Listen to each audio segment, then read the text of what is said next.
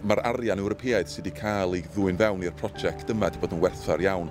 Mae'r myfyriwr wedi cael pres a wedi bod yn bosib i'r myfyriwr ddilyn gradd doethuriaeth um, heb i'r cost fod yn feichus iawn. Wel, cwmni teledu ydyn ni um, sy'n gweithio fesul prosiect ac digwydd bod oedd gyda ni prosiectau um, ar y gweill oedd angen arbenigiaeth Uh, ac mae'n anodd iawn i ffeindio arbenigiaeth yna, yndi, um, yn enwedig efo rhywbeth mor nish fel uh, sociology. Felly, you know, oedd o'n gret i cael Sian efo ni, achos mae Sian yn cynnig yr arbenigiaeth yna, ond hefyd efo cefnogaeth cynnog uh, efo hi fel darlithydd. So oedden ni'n gwybod oedden ni'n gallu bod yn aderus oedd y gwaith oedden nhw'n wneud yn gywir iawn ac yn proffesiynol iawn. Y peth mwyaf um, dwi wedi gael allan o'r, or, um, o ydy y ffaith bod o'n y gyfuniad yn falans perffaith rhwng fod yn academydd ac yn gwneud PhD, ond hefyd yn cael profiad um, o weithio o fewn cwmni.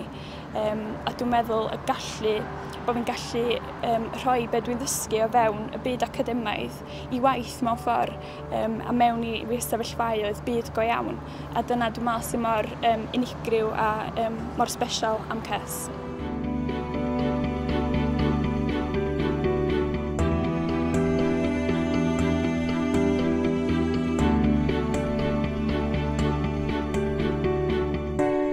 Cubric yw canolfan delweddu'r ymenydd Prifysgol Caerdydd. Yn amlwg mae creu canolfan newydd fel hyn yn costio lot fawr o arian, so 44 miliwn punt oedd wedi costio ar gyfer creu'r adeilad ac ar gyfer rhoi'r offer mewn hefyd. Felly roedd arian o'r gronfa Ewropeaidd wedi bod yn hanfodol ar gyfer creu'r lle newydd yma. Mae'r fath o ymchwil dwi'n ni'n wneud yn edrych ar pa newidiadau fach sy'n digwydd yn yr ymenydd um, wrth i'r afiechydon yma ddigwydd. Um, er enghraifft, mae rhai pethau'n gallu cael ei weld ar sganwyr cyffredin allwch chi ffeindio mewn ysbytai.